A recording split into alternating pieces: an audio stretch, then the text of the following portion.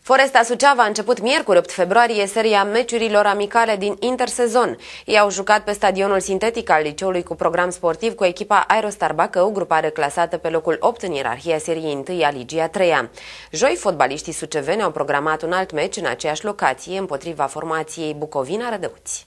Deși meciul era programat pentru ora 12, acesta a început mai târziu, întrucât a fost nevoie de curățarea stadionului sintetic al liceului cu program sportiv de zăpadă. Odată cu acest meci, antrenorii grupării sucevene au avut ocazia de a-i vedea pe unii dintre fotbaliștii noi care au fost transferați cum evoluează pe teren. Joi 9 februarie, de la ora 11, Galben Verzi au programat un alt joc test în aceeași locație, împotriva formației Bucovina Rădăuți. În această săptămână, sâmbătă de la ora 11, Foresta va disputa un nou meci amical tot pe terenul de la liceul cu program sportiv în compania formației CSM Roman. În continuare, programul din intersezon al echipei sucevene mai cuprinde jocuri de pregătire cu CSM Pașcani pe 15 februarie, revanșa cu Bucovina Rădăuți pe 16 februarie, iar pe 18 februarie duelul cu știința Miroslava. În primul meci oficial din 2017 pe 25 februarie, Foresta va întâlni pe areni